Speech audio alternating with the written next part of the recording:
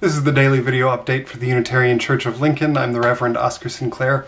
Um, just a quick note today um, before we get to our regularly scheduled programming tomorrow.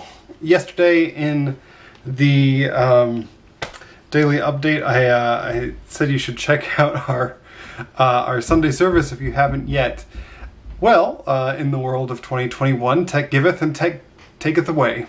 So on Sunday we used um, a piece of music we had permission um, from the composer's agent to use, um, but it still tripped up um, YouTube's algorithm and uh, and it got taken down. So we are um, we are disputing that takedown, obviously, since we've got the the email trail uh, where we have permission to use it.